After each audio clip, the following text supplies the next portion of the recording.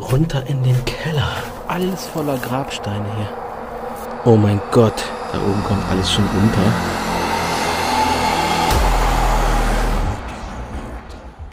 Hallo liebe Leute und herzlich willkommen auf meinem Kanal zu einem neuen Video. Heute befinde ich mich bei einem verlassenen Schloss aus alten Zeiten in einem kleinen Waldstückchen zwischen zwei Dörfern. Was genau uns dort erwartet, werden wir jetzt gemeinsam entdecken.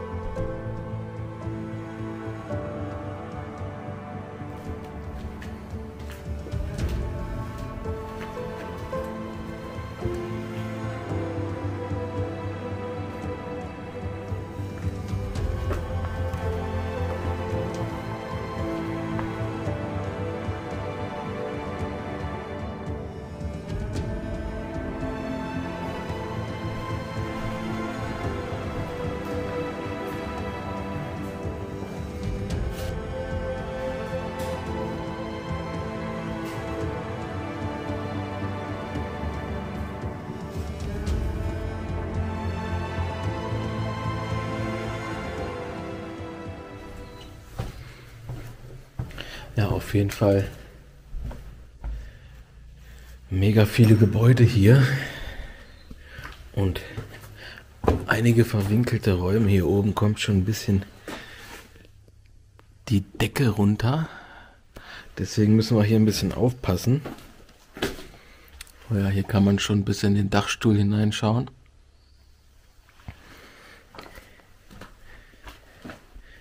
Hier ein alter Stromkasten.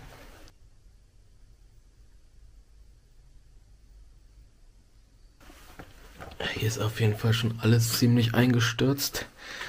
Wenn wir nur mal einen kurzen Blick in das alte Badezimmer werfen.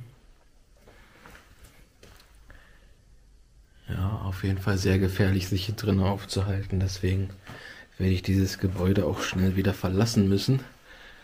Hier seht ihr, hier oben kommt schon alles, da oben kommt alles schon runter. Liegt alles schon hier unten auf dem Boden verstreut. Und ja, hier ist auch schon eine Gebäudehälfte runtergestürzt. Lässt sich nur noch schwer erahnen, dass das vermutlich mal die Toilette war. Ja, da sieht man sogar noch einen Toilettensitz. So, dann werden wir auf jeden Fall hier wieder rausgehen, weil das ist dann doch ein bisschen zu gefährlich, würde ich sagen. Aber wir haben ja noch ein paar andere Gebäude hier auf dem Schlossareal.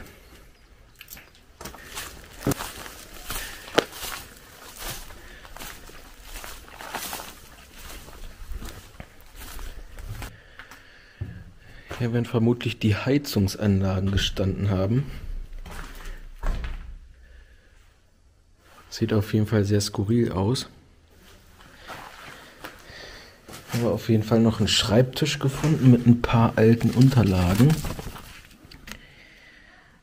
wo man jetzt nicht mehr so viel drauf sehen kann.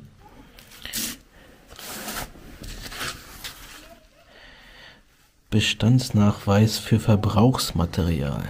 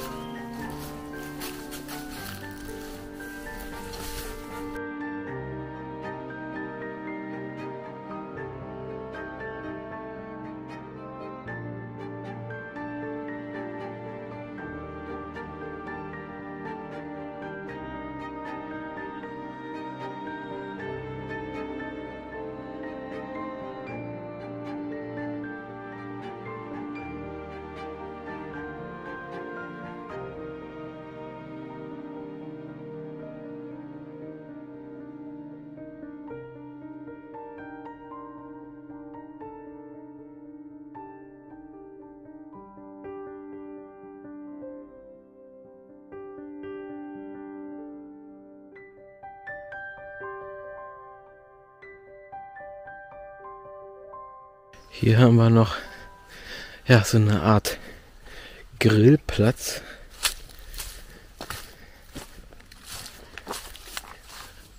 Mit einem kleinen Türmchen dazu.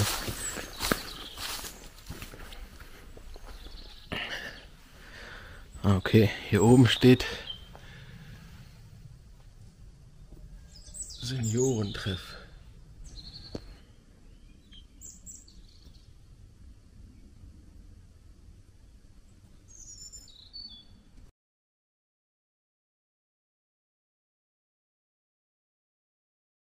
Ja, hier sieht es so ein bisschen drin aus, als hätte hier die Dorfjugend so eine Art Clubhaus eröffnet. Hier war noch so ein altes kleines Küchenöflein. Ein kleiner Backofen.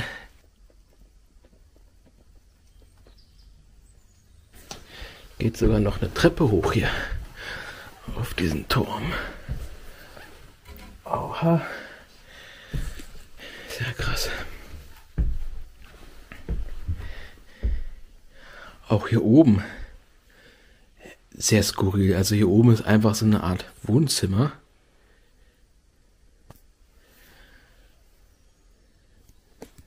Sehr komisch, mit sogar mit Teppichboden und Sesseln drinne. Ein Kleiderschrank, ein Tisch, ein Schreibtisch.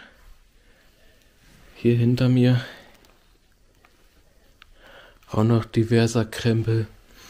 Das ist auf jeden Fall skurril, als hätte sich hier jemand so eine Art Wohnhaus zurechtgemacht in Miniaturform. Ja, ich bin jetzt hier den Turm quasi hochgegangen. Hier geht die Treppe runter. Na gut, gehen wir mal wieder runter.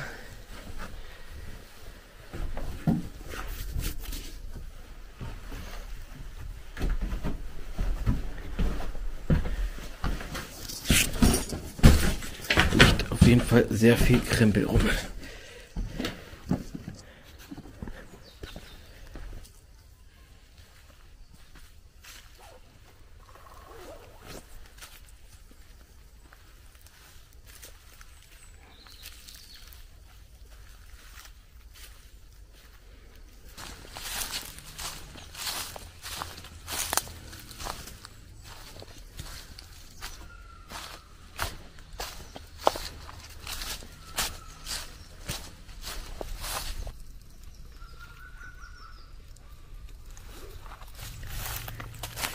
So, hier vorne habe ich gerade noch im Vorgarten des Schlosses entdeckt. So eine Art Kellergewölbe, Luftschutzbunker. Hier geht es auf jeden Fall noch deutlich runter in den Keller.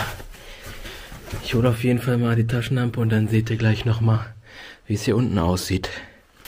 So Leute, wie versprochen, werden wir jetzt nochmal einen gemeinsamen Blick bewaffnet mit der Taschenlampe in den Luftschutzkeller oder ähnlichem wagen, damit ihr auch mal ein bisschen was seht. Hier haben wir einmal so einen Vorraum. Ja, ist auch ungefähr von der Höhe, weil ich schätzen so knapp drei Meter hoch. Hier sieht man, da geht es ein bisschen raus. Und hier hinten geht es nochmal weiter in einen zweiten Raumabschnitt, der auch nochmal richtig Gewölbe ähnlich ist.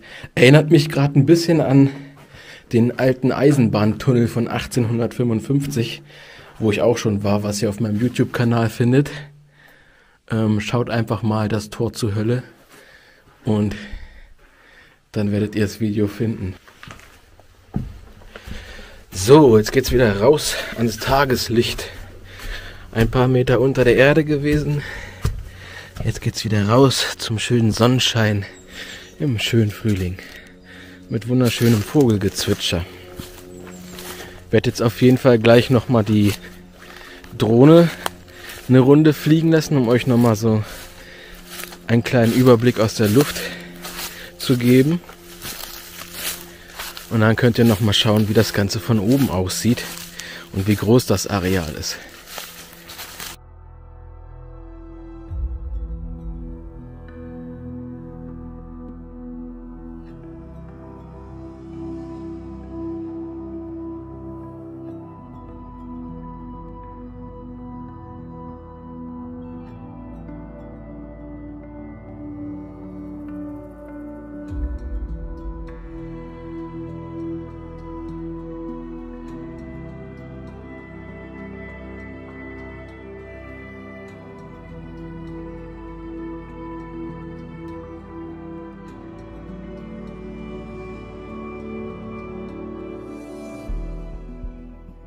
Schaut mal Leute, hier haben wir auf jeden Fall Überreste des Grundstückzauns. Hier überall diese alten, alten Zaunpfähle, Zaunpfosten würde ich eher sagen. Und die ziehen sich hier einmal komplett rum. Und wenn ihr mal seht, ich filme jetzt mal in die Richtung, wo das Schloss steht. Man sieht es nicht mal. Es ist so weit da hinten. Da hinter den Bäumen ist das Schloss einmal von da nach darüber. Man sieht es einfach nicht, weil das Grundstück einfach so riesig ist.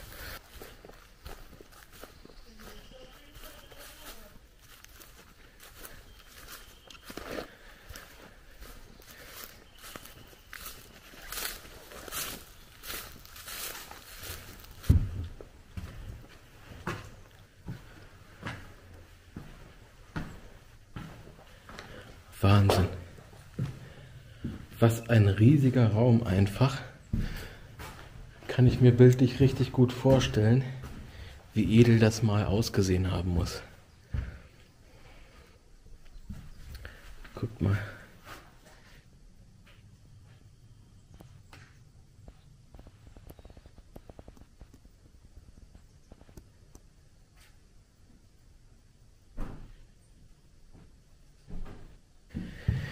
Heftig, Leute. Absolut heftig.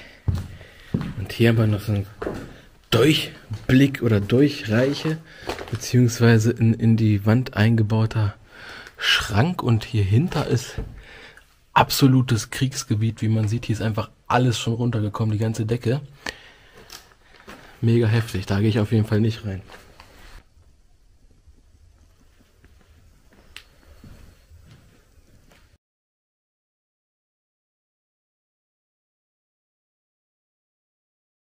Ich habe gerade entdeckt, Leute, hier vorne liegen einfach lauter Grabsteine. Oh mein Gott.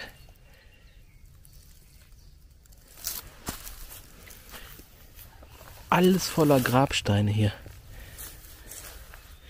Ob das Angehörige waren dieses Anwesens, ich weiß es nicht. Auf jeden Fall ist der Boden hier bespickt mit liegenden Grabsteinen, die wahrscheinlich mal aufrecht standen und der Verwitterung und Stürmen zum Opfer fielen.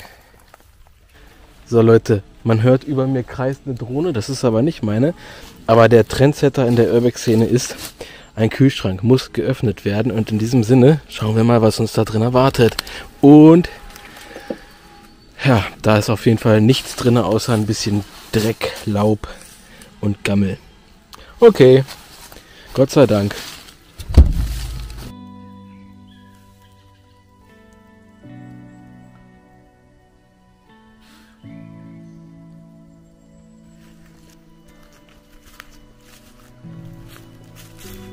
Ja, liebe Leute, das war's mit dem Schloss im kleinen Wäldchen.